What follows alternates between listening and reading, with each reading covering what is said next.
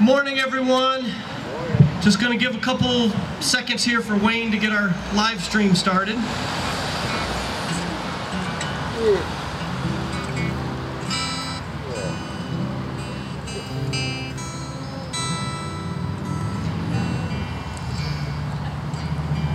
Got a pretty good crowd considering we just had the fair.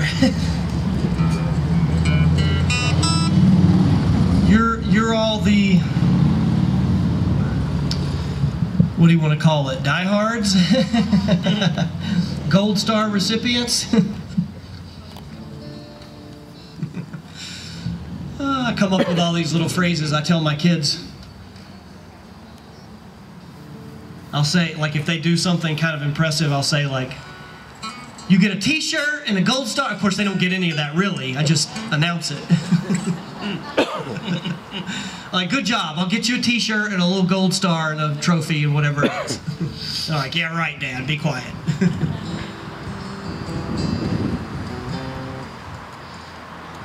Beautiful day, huh? We good? Beautiful day. Oh, this is. I like to just like take a deep breath and realize all the things I have to be thankful for. Sometimes we get sort of wrapped up in our own little bubbles, our own little routines, to do lists, and pretty soon we start thinking about all the challenges in our lives, all the difficulties. And then if you're anything like me, then get, you get into this little spiral where that's all you're thinking about. And I've been trying to be better. This is why I talk about it to you, because I hope that it'll mean something to you too. I'm trying to be better about approaching things not from a place of complaining or, or what's negative in my life, but approaching everything from the start from a place of gratitude, from a place of thanksgiving. So I invite us all to do that this morning as we get started. Welcome to Terryville Congregational Church, those that are here in person and those that are streaming online.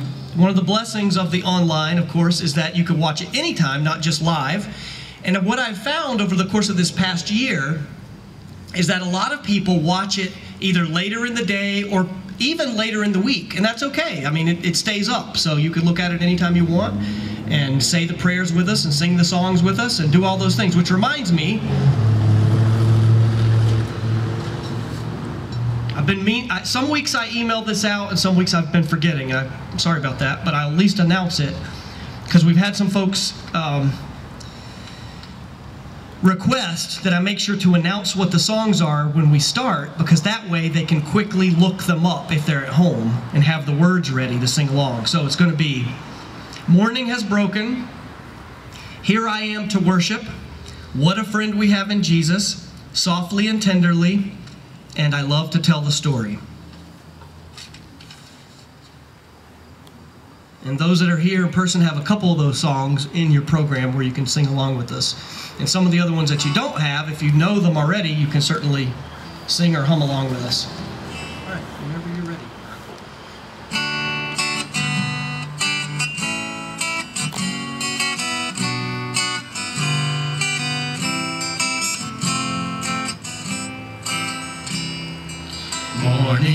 Has broken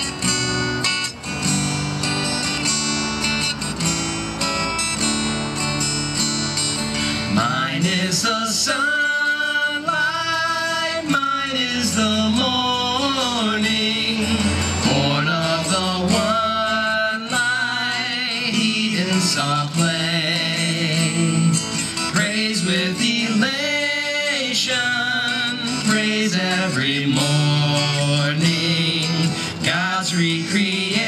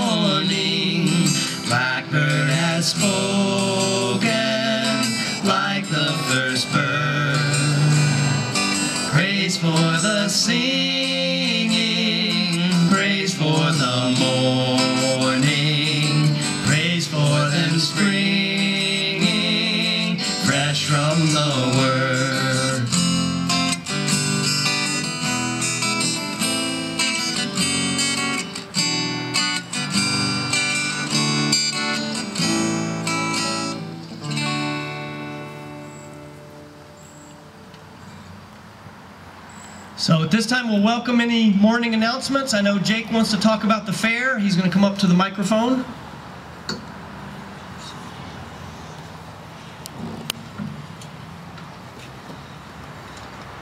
While he's making his way up here, I'll just announce, I know we've got prayers for Edna Kirkby, prayers for Wayne Kamens,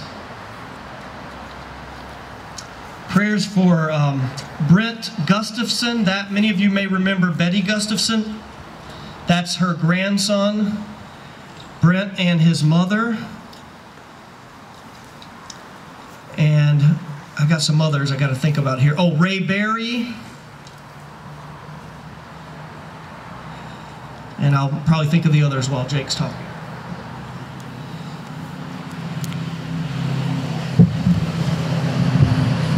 Good morning. Uh, I'm Jake Armbruster, uh, Fair Chairman, as uh, probably everybody knows already, and also Trustee Chairman. And uh, I want to just want to thank everyone uh, for a great team effort yesterday.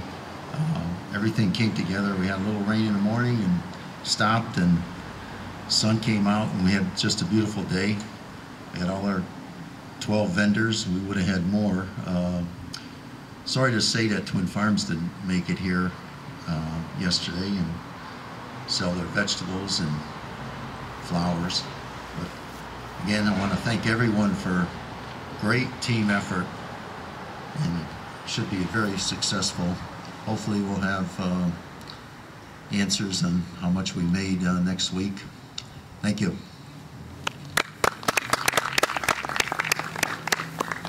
It really was a wonderful fair, and we have leftover food in the social hall, so you can either go through there or around. So please, after the service, make your way down to the social hall. We do have some little um, goodies in here too, right inside here for coffee hour. But make your way to the social hall and buy up all that stuff because we got a lot that we'd like you to um, purchase and take home and eat and enjoy and all those things. Also, um, continue prayers for Rudy as he recovers from his surgery, and continue prayers for Tina as she recovers from her surgery.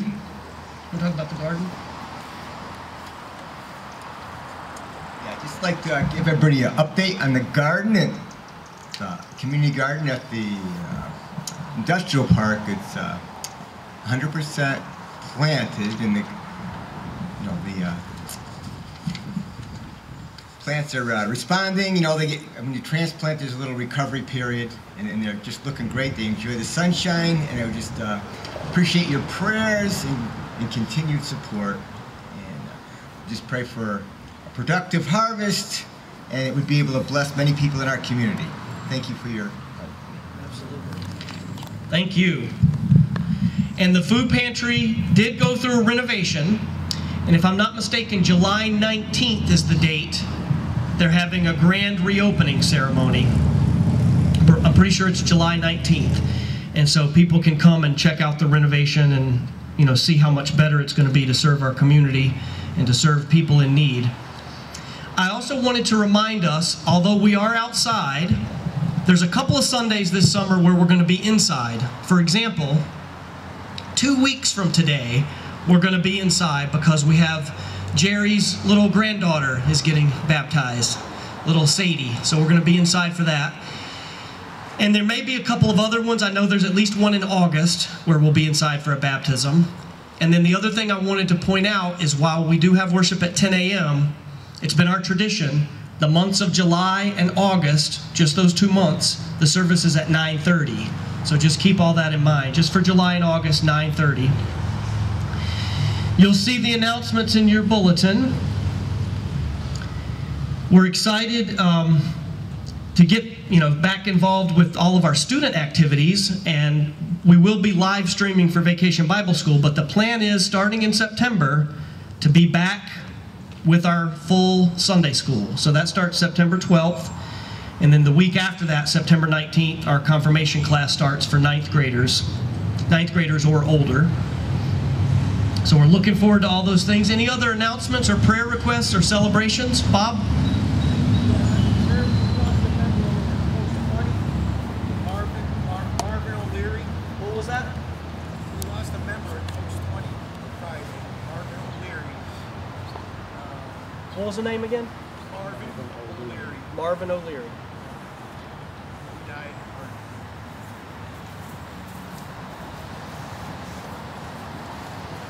Okay, prayers for the family and friends of Marvin O'Leary.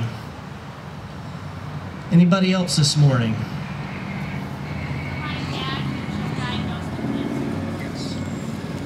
For Sam's dad.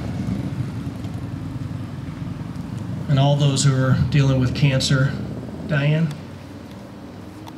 I just like to thank Jake. Does so much work for the church there. He's here late at night getting things ready and puts so much effort into all he does for the church. I'd like to thank Jake for everything. Thank you to Jake. Absolutely. Not just the fair, but any, any and all things church related.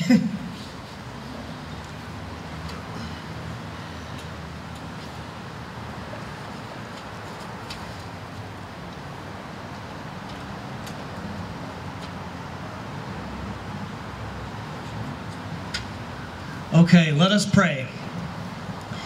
Gracious and loving God, we all take a deep breath this morning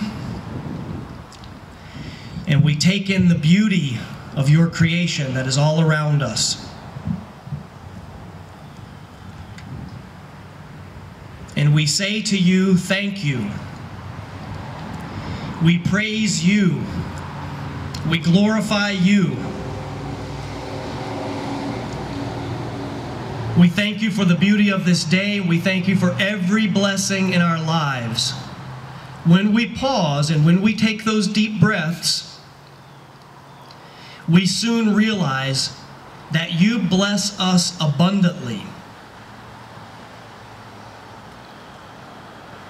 We thank you for family, for friends, for church, for community, for shelter, for clothing, for food, for warmth for the gift of love.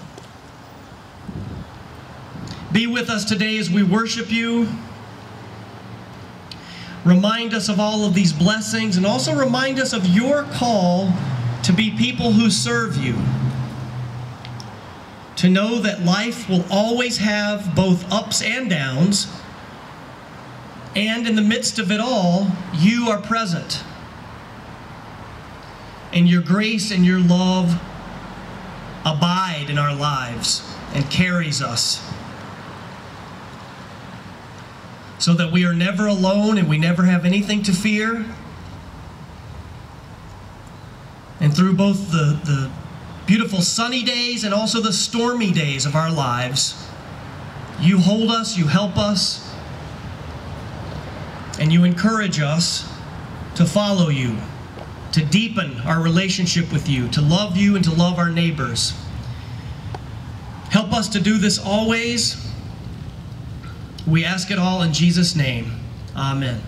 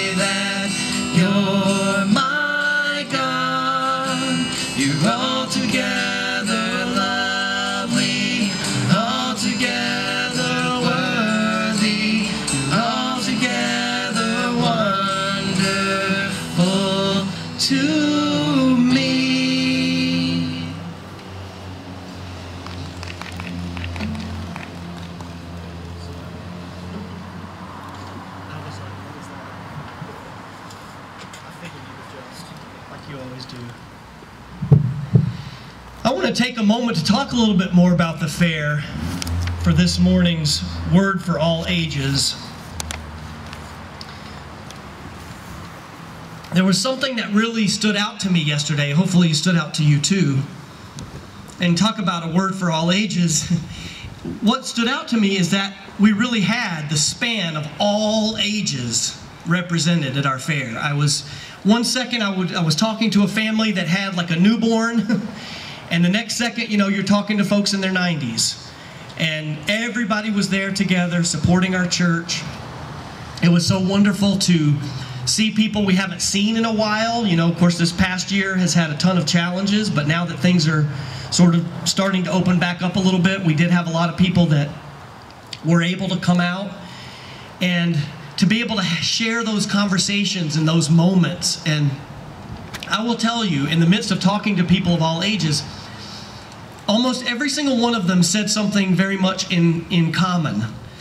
And that was how much they really appreciate our church and how much their faith means to them. Now, we can live our faith, I've talked about this for years now. We can live our faith individually, privately, but it's so much richer, fuller, and deeper lived in community, lived in a practicing group of people of faith. And that's what a church is. The church isn't the building, the church is the people of faith following Jesus Christ. By the way, Shirley, we got extra chairs.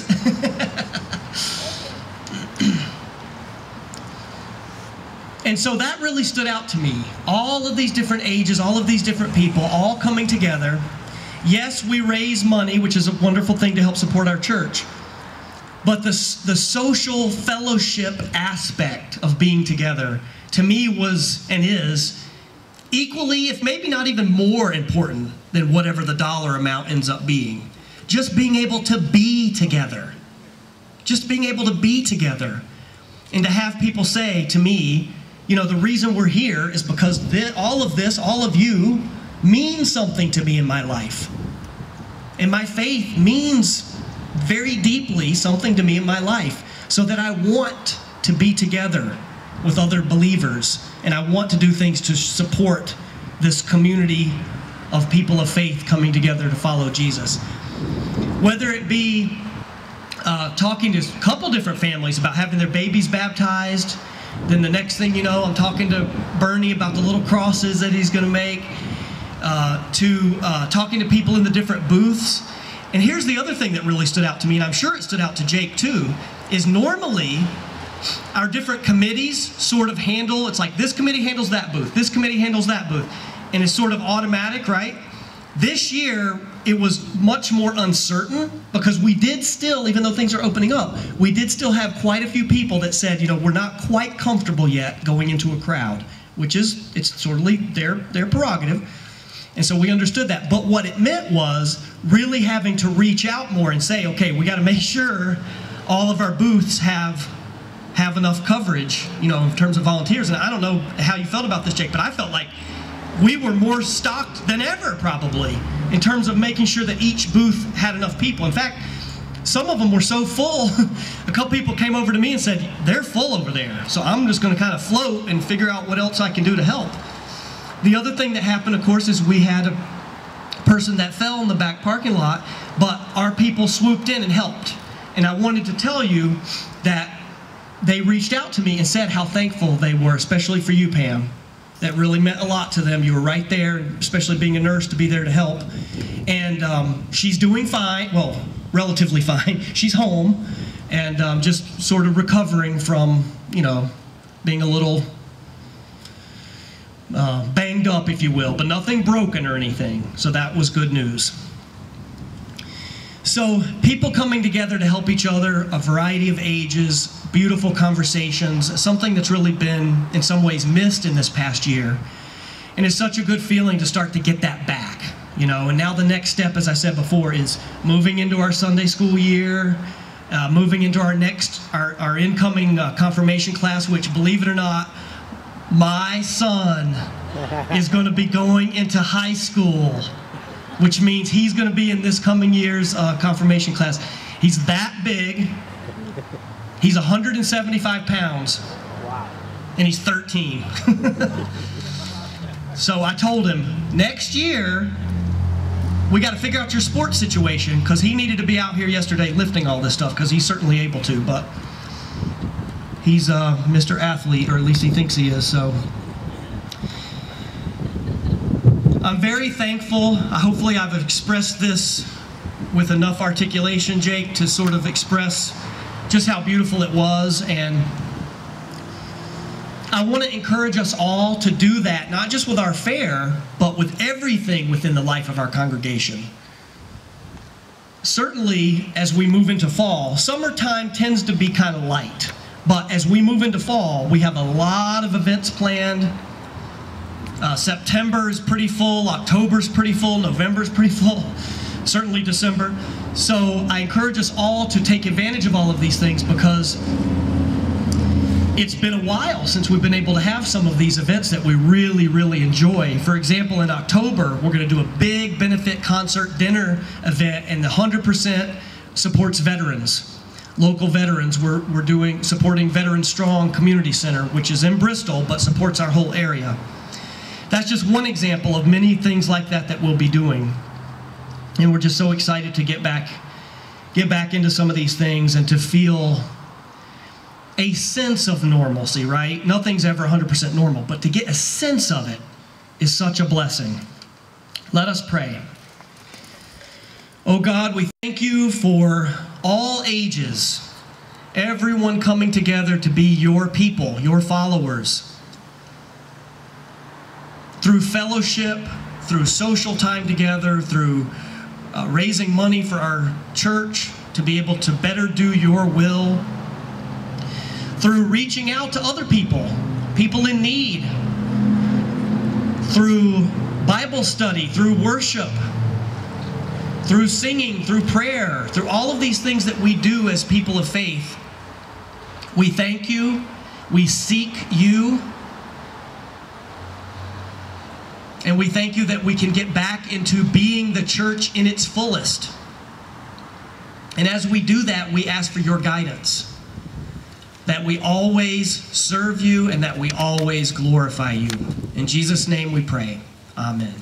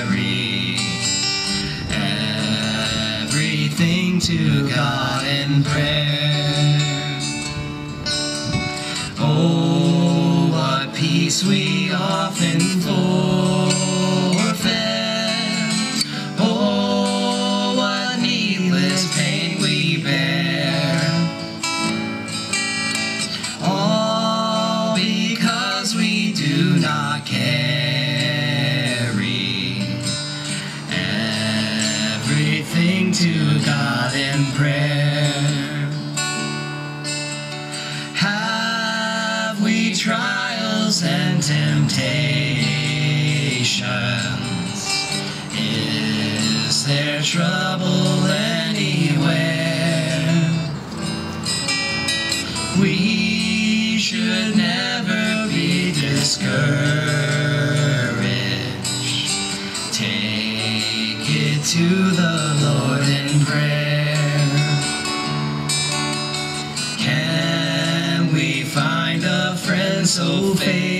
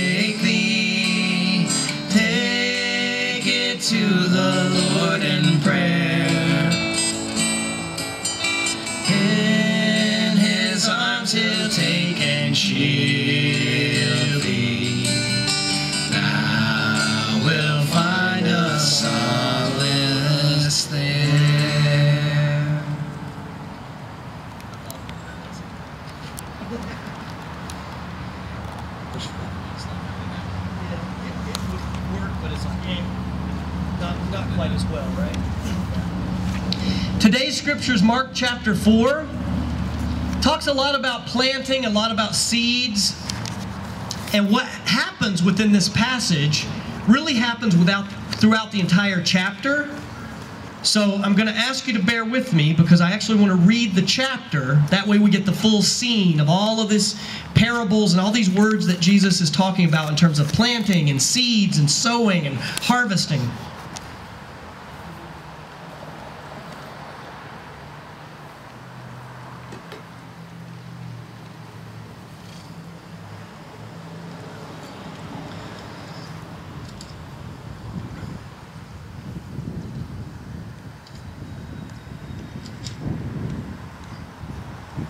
Again, Jesus began to teach by the lake.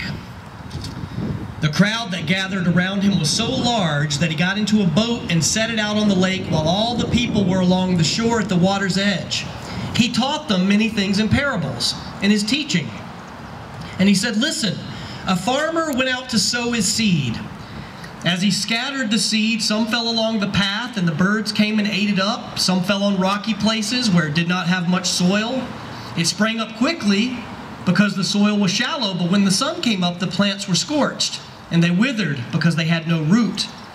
Other seed fell among thorns, which grew up and choked the plants, so that they did not bear grain. Still other seed fell on good soil.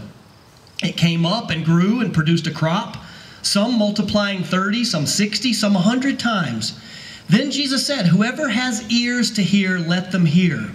When he was alone, the twelve and the others around him asked him about the parables, and he told them, The secret of the kingdom of God has been given to you.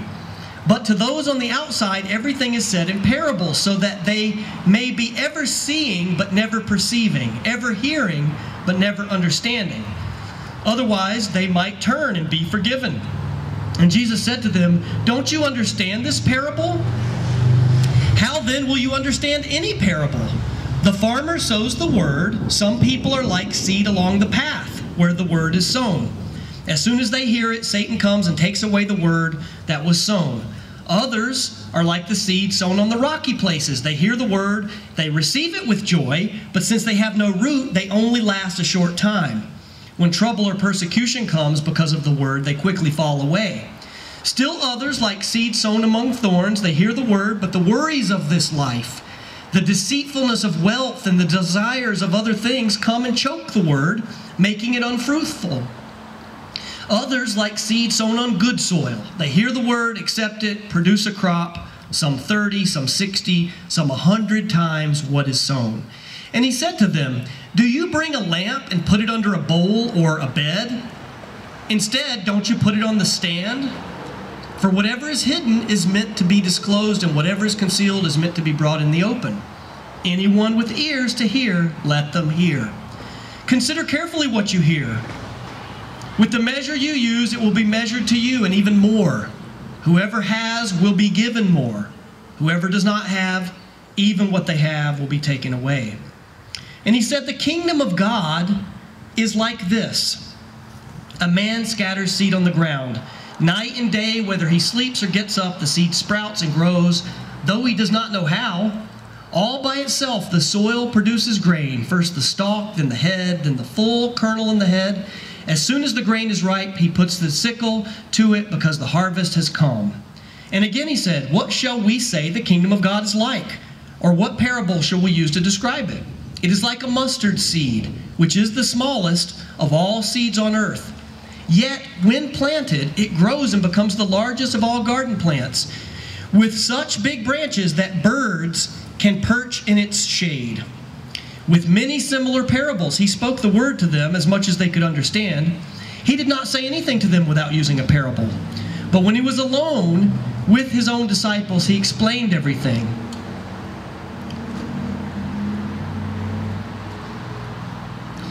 Day, when evening came, he said to the disciples, Let's go over to the other side. And leaving the crowd behind, they took him just as he was in the boat. And there were other boats. A furious squall came, and the waves broke over the boat so that it was nearly swamped. And Jesus was in the stern, sleeping. The disciples woke him up and said, Teacher, don't you care if we drown? And he got up and rebuked the wind and said to the waves, Quiet, be still. And the wind died down, and it was completely calm. And he said to the disciples, Why are you so afraid? Do you still have no faith? They were terrified and asked each other, Who is this? Even the wind and the waves obey him. The word of God for the people of God. Thanks be to God. Amen.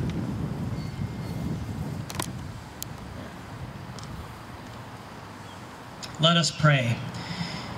O God, may the words of my mouth and the meditations of all of our hearts be acceptable unto you. You are our strength, you are our Redeemer. Amen. I still got the jokes from, uh, is this Memorial Day maybe? Uh, one of my favorite things is being handed a little sheet of paper with jokes on it. But this one came from Memorial Day weekend when we were at the Plymouth Church, and during that service, there wasn't really a time to, to introduce these, so I saved them for today. Here we go. Are you ready for the level of corniness to be heightened in your life? The definition of pasteurize too far to see. Past your eyes. That one took me a while. I was reading, I was like, I don't get this. Because if you read the way the words, sp- anyway, it's past your eyes or past your eyes. Okay. No matter how much you push the envelope, it'll still be stationary.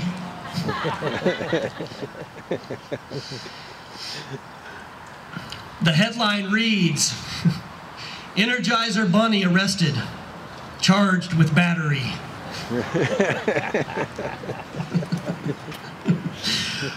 Whoever invented the knock knock joke should get a Nobel Prize. Those are good. I liked them all. They're like at 98% corny. That's about as close as you can get to that 100% mark. So we just read a, an entire chapter. There's a lot in there. But it was important, I thought, to share it all because you see how there's sort of a cumulative effect of this chapter. Story after story, lesson after lesson, where Jesus is reinforcing this imagery of planting and seeds and the way the seeds fall on the ground and the way it comes up and the way it's harvested. And then you get to the very end, he's already done all this profound teaching, and a storm comes, and the disciples are immediately terrified. And he's like, wait a second. I've just been giving you all of these beautiful blessings and these profound teachings, and I've, I've even explained them. even though to me, some of them are pretty straightforward, but he still took the time to explain it.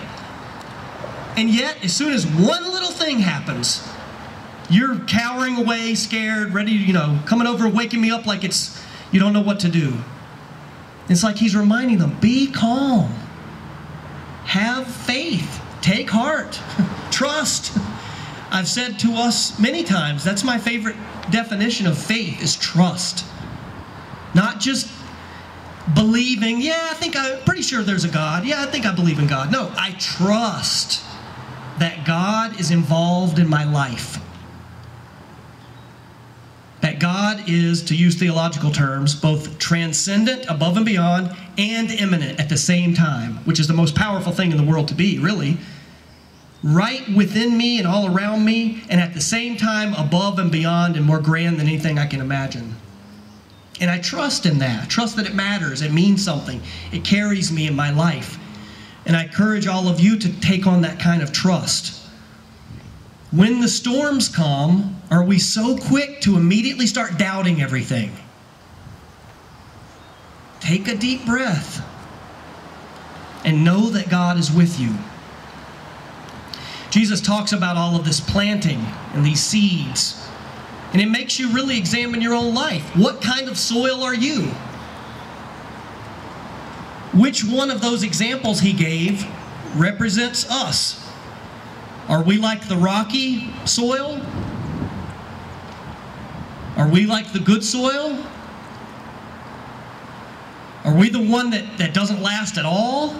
Are we the one that lasts for a little while, but then as soon as something happens, we quickly fall away? Are we the one that have a depth and a richness of, of soil so that God remains a constant in our lives and our response to God remains constant? So important, I think, to read those examples he's giving and think about where do I place myself in the story? That's what I think is so powerful about his teachings, especially his parables. You can place yourself in it. And maybe you're at one place, but maybe you want to get to a different place. And so through prayer and through living the life of faith, you can we can all work on that. I mean, none of us are perfect. So maybe in that sense, none of us are the good soil. But we want to be striving toward that good soil. We want God's word to dwell in us, and then we want to go out and give that to others. As Jesus says, don't hide it under a bowl or put it under your bed. He's calling us to bear fruit, to live outwardly our lives of faith. Not to just think about it on the inside, but to live it. The mustard seed has always stood with me. I remember learning this passage even from as an age of a young child. And I always thought it was so amazing that God could take something so small and say, you know what, that's enough. Because Jesus also talks about a mustard seed faith. If you have faith the size of a mustard seed, you can move mountains. Well, I don't know if you've ever seen one, but a mustard seed is even smaller than like your pinky uh, fingernail. It's like uh, maybe a, hold on a second, one, two, three. it's like a twelfth.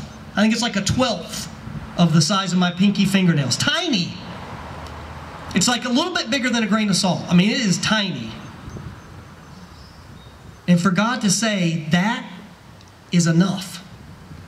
With that, you can move mountains. With that, the word can be planted, and this beautiful mustard seed plant can come up enough to give shade to the birds. Now, I was curious because I don't know a lot about plants. People say to me, Is that poison ivy? I'm like, I don't know. To me, everything looks like a three flower plant. People are like, Well, you should know it's a three flower plant. They all look like that to me. I don't know. I just, it's never been my thing. Um, so I just try to stay away from it all, or make sure I got gloves on, which I did, and I still got it. Anyway, long story.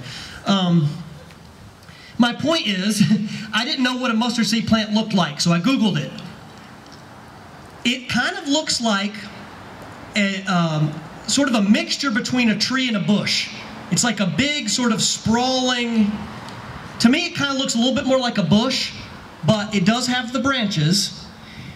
So, you know, te I, technically, I guess, I mean, here he calls it a plant. Um, it's kind of like an in between. What's amazing about that is this is the way God works. God could have said, I'm going to be the kingdom of God, and it's going to be as big as this tree that's right here in our yard here. It's going to be huge. It's going to be overpowering. It's amazing. It's kind of like when Jesus rides in to Jerusalem, he doesn't come on some grand stallion with rich, you know, million dollar clothing and million dollar jewelry. Comes in on a little donkey, a little colt. He doesn't have the biggest entourage, the biggest group of people with him that are all these amazing. He's got a little entourage, he's got his little colt, he's got his simple clothing. God is powerful, but God doesn't have to say, I'm going to be the most arrogant, I'm going to have the biggest and the best of everything. It's kind of like that with this mustard seed plant. It's big enough that birds can find shelter in it, but it does God says, I don't need to be this big, huge, sort of arrogant, overpowering image. I want you to understand the image of a mustard plant.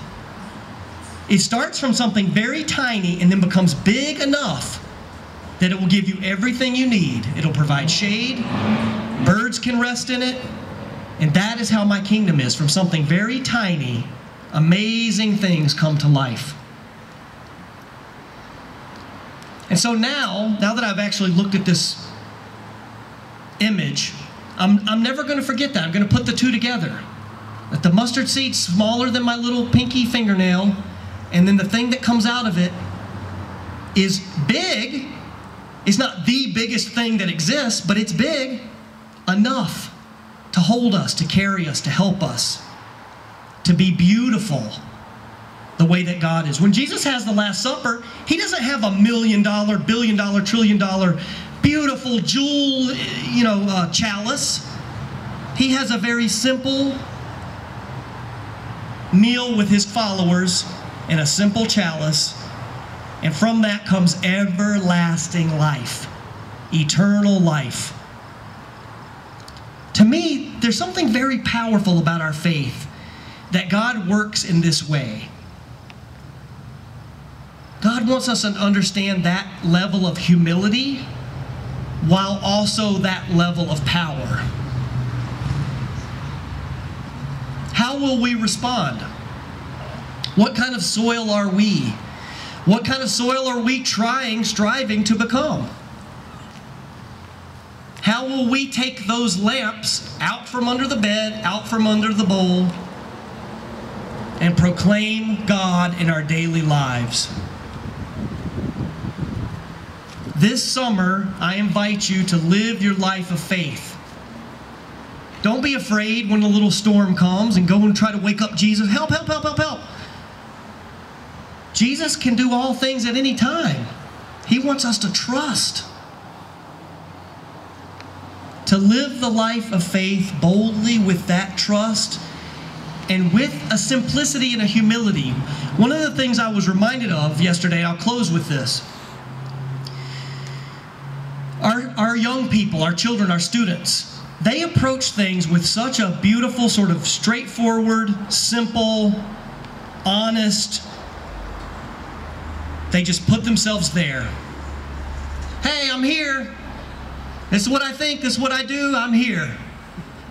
I love God, I love my family, and I think that's what God wants of all of us to come to God like that, with that simple, humble, childlike trust, and to just come to God. So I invite us to do that this summer and always. Praise be to God. Amen.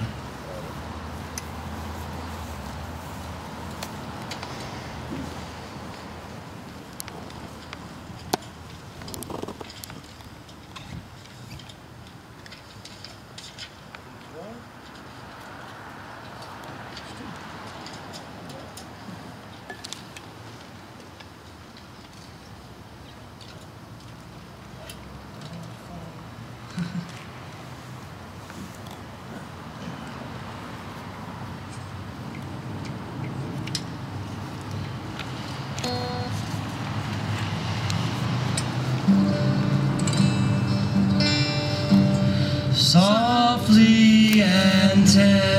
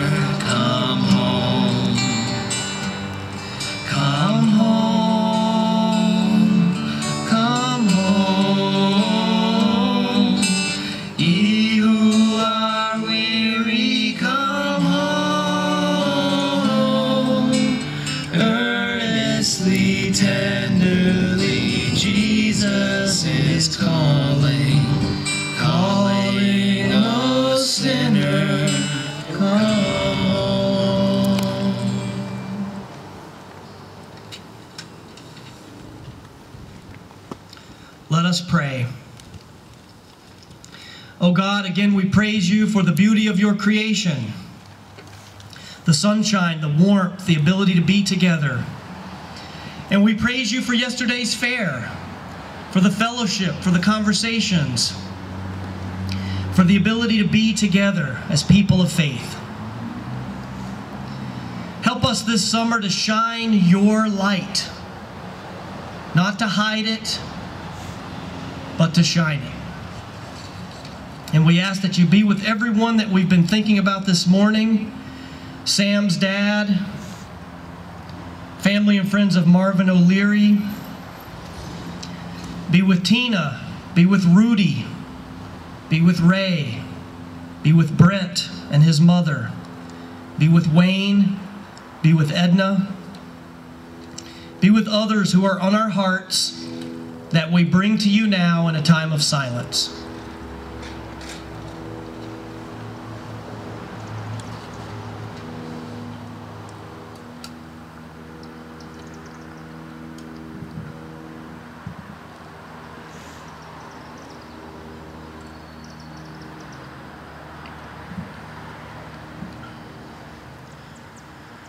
Oh God, we have people on our hearts and minds that are here local, and situations that are here local, and we have things that are weighing on us, that are happening beyond our local community. We bring it all to you in prayer. We ask that you be with all of our graduates and all of the students as they close out their school year and as they head into their summer routines. We ask that you be with all the families as they make their summer plans and everybody traveling to be safe and healthy. Be with those who have a scheduled procedure coming up or surgery. Be with those who are grieving. Be with those who are hurting financially. And help us all to be there for all of these people as well to love you and to love our neighbors as ourselves. Let us all now pray together the Lord's Prayer. Our Father, who art in heaven, hallowed be thy name. Thy kingdom come, thy will be done, on earth as it is in heaven. Give us this day our daily bread, and forgive us our debts as we forgive our debtors. And lead us not into temptation, but deliver us from evil. For thine is the kingdom, and the power, and the glory forever. Oh, Amen. And as always, when we bring, when we have our closing song, you're invited to bring the offering up. But I just want to remind you all the road to get here can be a little bumpy. the ground, the grass, and everything has, like, you know, like grass does, little divots and little mounds. And so just to be very careful. Your second option is always to bring it up afterward. The other thing we could do is bring it to the flat area. Thank you, Rich. that certainly will help. And before we have our song, we'll say our prayer for the offering. Let us pray. Oh God, again, we praise you. We seek your will for our lives. We ask your blessing on these offerings today. Multiply them and use them to glorify you, to serve you, and that they always be according to your will. We ask that you bless our congregation here and help us to use the funds to be better servants for you. Bless all of our lives as well, O oh God. Each and every one of us is going through something different in our lives. Some of us may be in a difficult time, some of us may be in a joyous time, and some of us may have a little bit of both. Be with us and help us. Help us every day to live our lives as an offering to you. We ask it all in Jesus' name. Amen.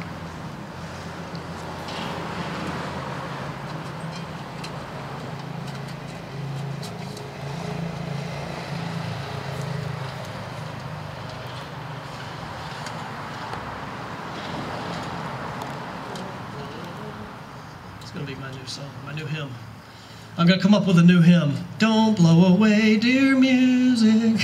Um, anyway. I love to tell the story of unseen things above, of Jesus and his glory.